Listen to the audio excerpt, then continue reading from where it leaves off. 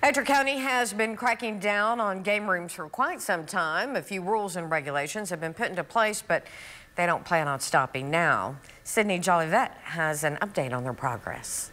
The topic of game rooms in Ector County has been a long-held discussion. We cannot eliminate them entirely, but what we can do is eliminate the locations in which, which they're located and regulate that.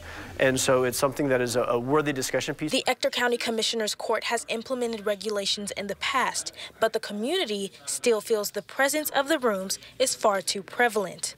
The state of Texas has made it clear that the game rooms are running outside the parameters of the law. There was a recent Texas Supreme Court ruling, ruling that eight liners, a particular machine in these game rooms, is deemed unconstitutional unconstitutional. And that was a, an appellate decision that was upheld uh, over uh, in this, this court case took place in December.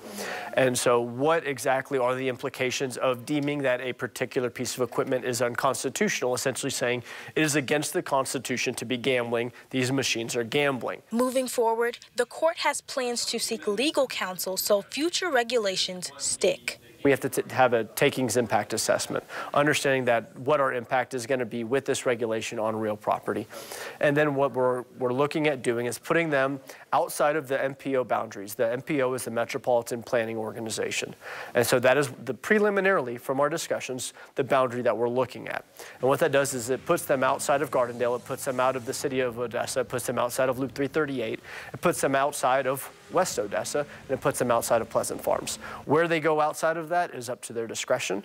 Uh, that is their job for them to figure out. No concrete regulations were decided at today's meeting. However, plans are being made to enforce the law. The fact that we have these and our neighbors to the east and Midland have none is, is a poor reflection upon our community. And this is something that I, I take personally uh, as the leader of this community, as the county judge.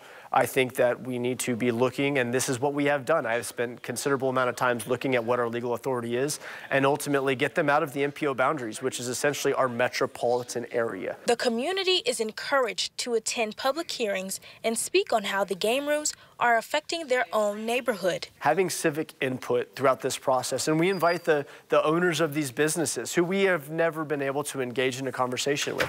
We invite the owners to come here and speak with us. We invite the public to come provide their input because we are a public entity and we want to hear back from the constituents on what their thoughts are on this before we enact any policy or regulation. County Judge Fawcett, along with the council, are taking every necessary action to eventually eliminate game rooms entirely in Ector County.